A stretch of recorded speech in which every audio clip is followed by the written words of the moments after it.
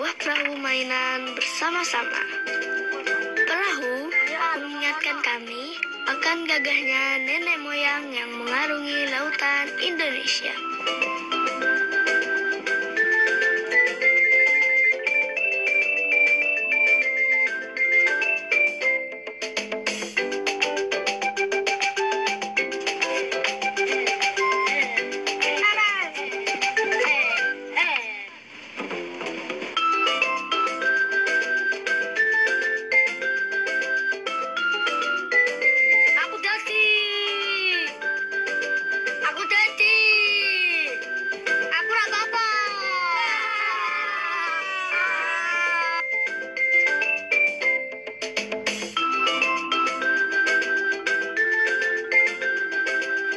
Suatu saat kami ingin seperti mereka mengarungi dunia untuk menceritakan betapa indahnya surga kecil ini gugusan kepulauan di Karimun, Jawa. Ada cerita menarik dari legenda yang berkembang di kepulauan. Konon, Karimun Jawa ditemukan oleh Sunan Muria. Sunan Muria kala itu prihatin akan kenakalan putranya, Amir Hasan.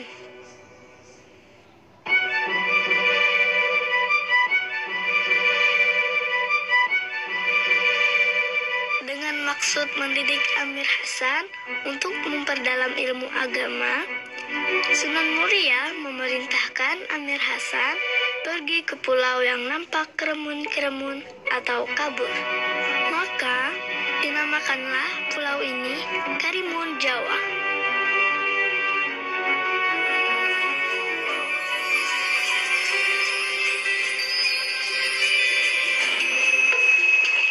Wah, kita enak ngombe klopo iki. Bisa to? yang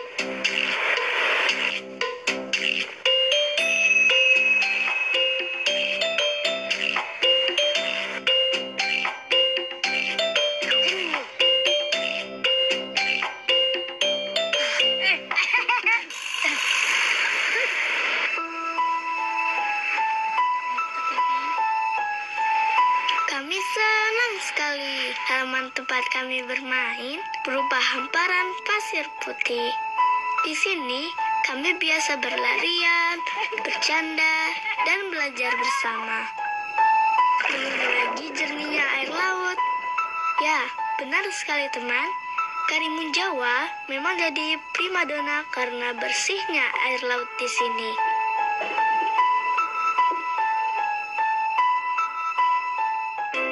Keindahan Kepulauan Karimun Jawa terletak di Laut Jawa masuk dalam Kabupaten Jepara, Jawa Tengah. Kabar tentang betapa mengagumkannya Karimun Jawa sudah sampai kepada turis mancanegara. Jadi, semakin hari semakin banyak saja wisatawan lokal maupun mancanegara yang datang ke halaman tempat kami bermain ini. Kata orang, Karimun Jawa memiliki keindahan bawah air yang tiada duanya. Ribuan spesies ikan dan terumbu karang yang masih sangat terjaga membuatnya tersohor hingga ke mancanegara.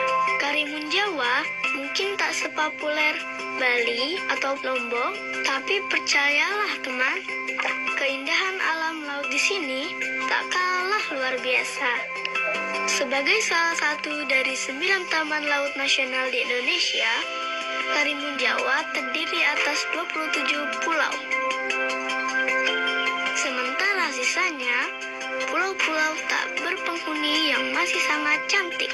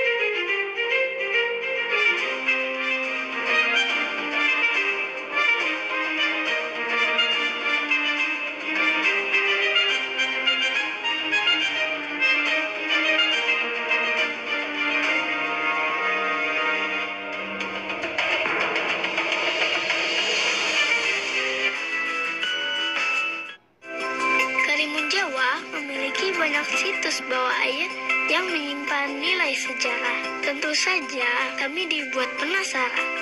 Apa sih yang sebenarnya ada di bawah sana?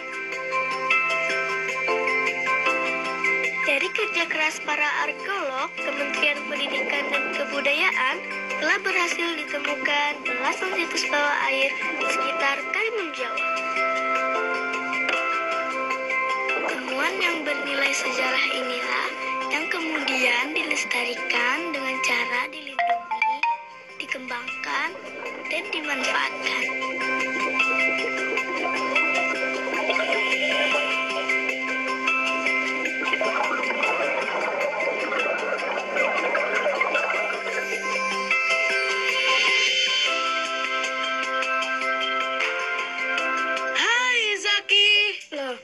siapa? kamu pasti kaget ya. Tak usah takut Zaki.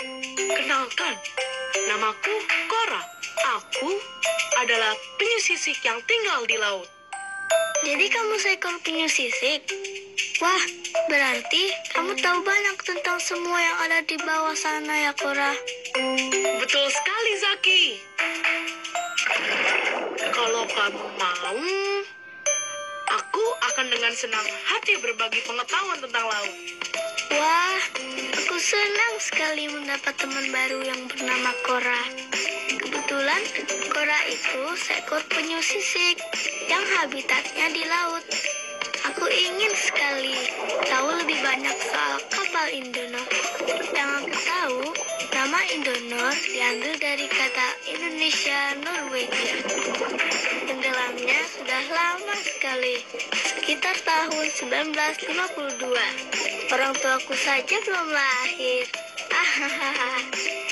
Sepertinya pas sekali kalau aku minta orang untuk menjelaskannya. Bagi kami, anak-anak sekitar Kepulauan Karimun Jawa, belajar bisa dilakukan di mana saja. Satu yang ingin sekali kami coba adalah terjun menyelami situs di bawah air Karimun Jawa.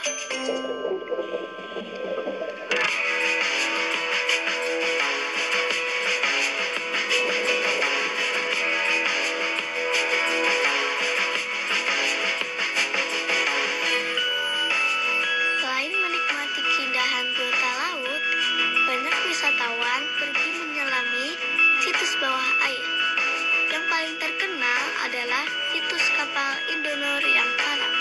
Bisa kita temukan di sekitar Pulau Kemojan dengan kedalaman sekitar 10-17 meter.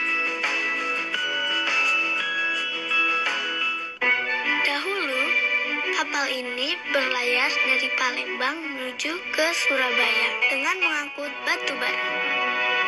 Dari buku yang kami baca, SS Indonor dibuat oleh perusahaan pembuat kapal Gray di Inggris sekitar tahun 1940-an. Awalnya, kapal ini bernama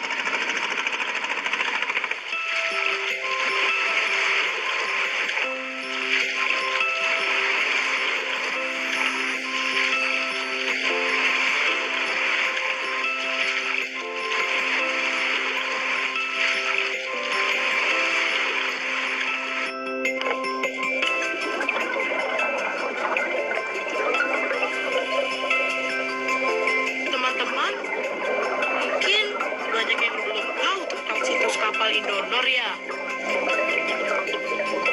Biar Cora jelaskan ya. Dulunya kapal ini adalah kapal yang mengangkut barang-barang potong. Tapi sayang, kapal yang berbahan bakar batu bara ini tenggelam di tahun 1952 di perairan dekat Pulau Kumojan. Saat ini, sisa kapal berada pada kedalaman 5-15 meter. Kapal ini besar sekali. Teman, ukuran panjangnya saja kurang lebih 100 meter. Belum lagi lebarnya yang mencapai 26 meter dan tinggi 7,5 meter.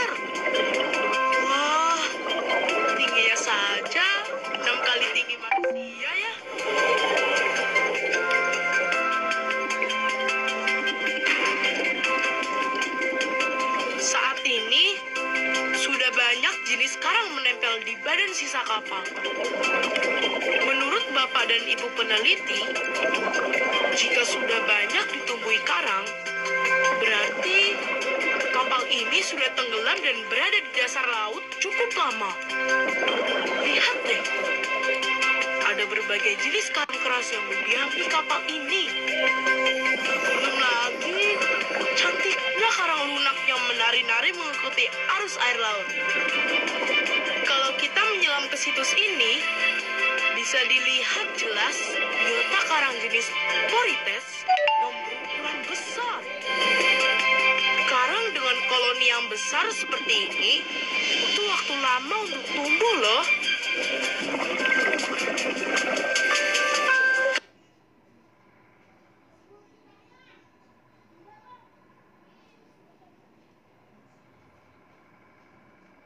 Karang inilah yang kemudian jadi tempat tinggal beragam jenis ikan yang cantik. Lihat itu di sana. Zaki, mereka semua adalah temanku loh. Tapi Cora sedih sekali. Karena saat ini ada beberapa bagian kapal Indonor yang terkuras bekas gergaji. Karena kapal yang terbuat dari besi, maka ada saja yang berniat buruk mencuri besinya untuk dijual. Yang seperti ini jangan dicontoh ya teman. Situs bawah air harus kita lestarikan. Karena dari sinilah kekayaan sejarah bangsa ini berasal.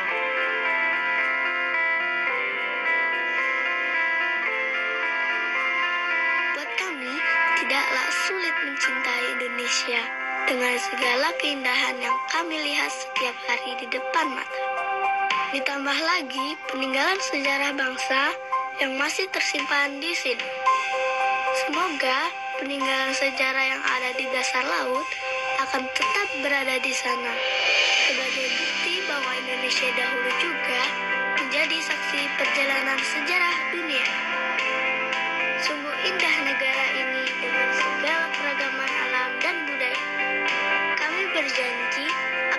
terus mencintai dan menjaga rumah kami, surga kecil kami, Karimun Jawa, agar siapa saja, termasuk kalian, bisa merasakan juga keindahan sampai kapan pun juga. Jadi, suatu saat kami bisa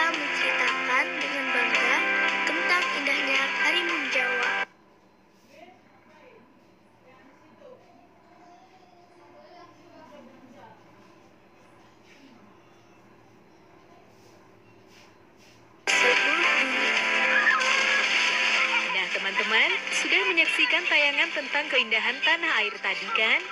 Sekarang saatnya kita menjawab beberapa pertanyaan ini ya. Bagaimana menjaga, melindungi, dan memanfaatkan peninggalan bersejarah atau situs bersejarah yang ada di tempatmu? Menurutmu, apakah maksud ungkapan laut adalah halaman rumah bagi kami? Temukan ungkapan lain yang menandakan kekaguman pada alam iya, jangan lupa untuk tetap belajar di rumah ya, dan jaga kesehatan dengan rajin mencuci tangan, serta makan makanan yang...